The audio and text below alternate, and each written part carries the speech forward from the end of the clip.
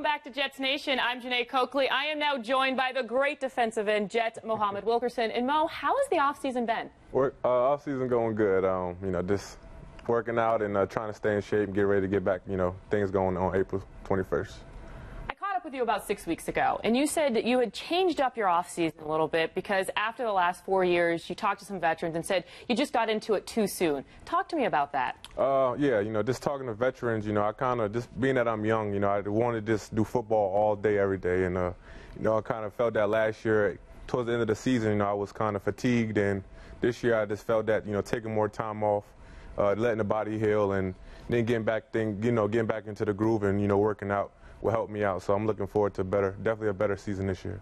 And we actually caught up with you, and your body was all nice and rested up in Houston. Let's take a look at this workout, okay? All right.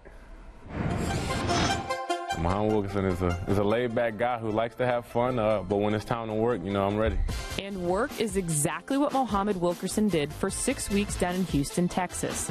The defensive end wanted to change things up this offseason, so he went back to where he first started training for his professional career at CES Performance with legendary defensive coach Pete Jenkins. One, two, three, You know, I have a history with Muhammad in that I had him when he first came out of uh, Temple. I worked with him for seven weeks. But let me tell you, when he came out now, he was a man on a mission. Despite having his best season of his young career, Wilkerson is still on that same mission. Every drill, every moment, he gives it his all. There is no break for Wilkerson.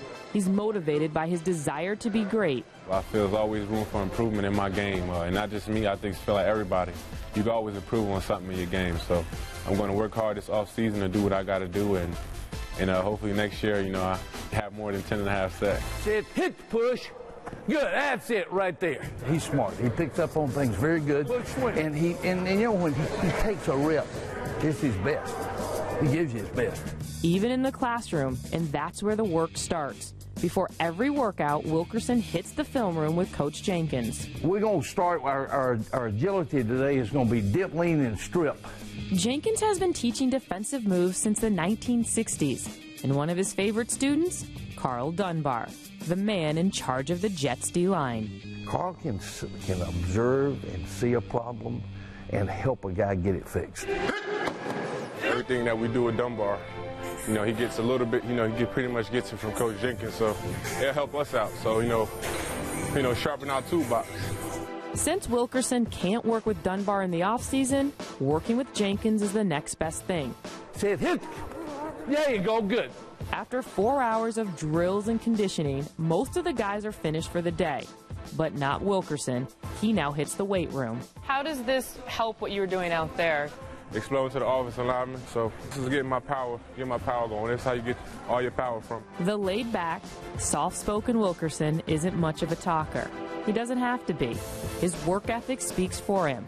He's a man driven. I'm motivated by my family. Uh, you know, I'm a proud father. You know, I have children. So just a whole bunch of things that, you know, just keep me level headed, but also just makes me want to, you know, go that much harder and, you know, be successful. All right, Mel, we just saw what you did for six weeks down there. What did you learn from that? Just pretty much just sharpening up my tools. You know, uh, coming out when uh, working out with Coach Jenkins uh, was at CES and then working with Coach Dunbar. You know, we do the same thing. So it's pretty much just sharpening up my tools and just getting ready for a great year this year. You're one of the leaders on this Jets, de- this Jets defense, Jets team. What do you think about the moves that they've made so far in the offseason? They added Michael Vick, they've added Eric Decker. What do you like about it? I think uh, those moves are great for the team. Uh, you know, John Idzik, you know, that's a GM. Uh, he's a man with a great plan, and uh, I believed in him, you know, since day one, since he stepped in the building. And um, those guys that's coming in, they're only going to help the team. Uh, great veteran leaders that's going to come in. Uh, Decker, you know, played in the Super Bowl. Vick, you know, his resume speaks for itself in the league. So they're definitely going to help out the team, and I'm looking forward to it. Let's talk about the defense. And this secondary took a lot of blame for the problems of the defense last year. How do you see it? I think uh, you know we could all have been better last year. Uh, not just the secondary up front. Uh, you know the offense. Everybody could have been better. Um, can't put no blame on them. Um, but I know definitely this year uh, I, I want to put more pressure on myself in the defensive line. I feel like you know we're the number one defensive line in the, in the league, and we can do that. And uh, we're young, you know, and we're very talented, and we can make things happen. And uh, so I'm just looking forward to you know this season being something special for the Jets. Let's talk about the pressure you put on yourself because there's no doubt that many experts believe you should have been a Pro Bowler, and you were that was a snub.